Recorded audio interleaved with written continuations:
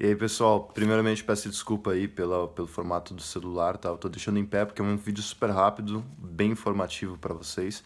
Infelizmente, estou vendo muito vídeo fake no, no YouTube, aqui na plataforma, tá? E eu quero trocar uma ideia com vocês sobre esse decreto, né, que o CEF lançou no site deles, na plataforma oficial do CEF, sobre uh, esse negócio todo de Covid, legalização, etc e tal, tá? Tá rolando um rumor Tá rolando muito boato e a questão é você chegar e ler o que está escrito no site. Né? Você vai ser muito bem informado.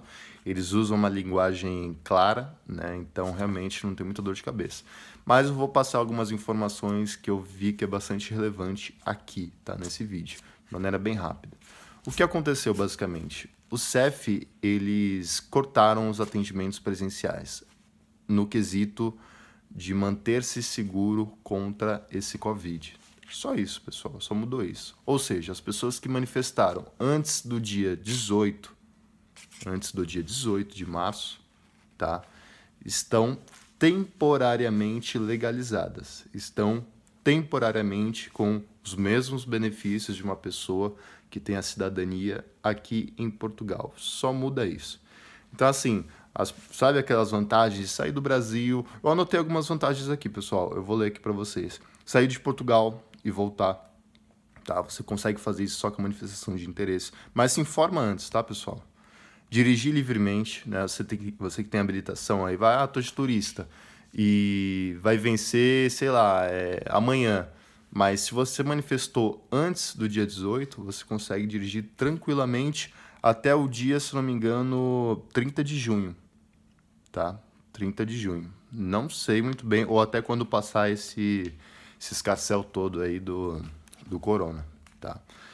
É, que mais? Outro benefício, seguro-desemprego, tá? Se você contribuiu aí com, com o, a segurança social, né? Quando você trabalhou, contrato recibo verde, contrato de trabalho, você vai ter direito à segurança social. E tem mais uma anotação aqui, abertura de conta bancária, e contratação de serviços públicos essenciais.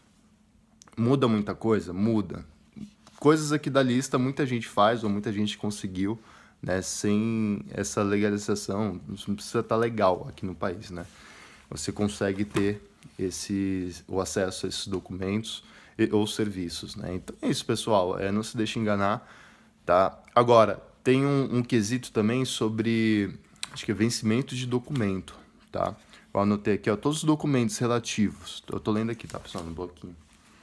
Todos os documentos relativos à permanência em Portugal que vencem depois do dia 24 de fevereiro serão válidos até o dia 30 de junho, tá? Então, eu anotei porque eu acho que fica um pouco mais é, é uma minha colinha, né, pessoal, para poder me ajudar, poder passar uma informação mais precisa para vocês. E é isso, espero que vocês tenham gostado do vídeo. Eu vou colocar um tape agora né, do site para vocês verem. Vou deixar o link do site, o link oficial para vocês lerem, do decreto, né, do artigo. E é isso, espero que vocês tenham gostado. Né? Valeu, até a próxima. Obrigado.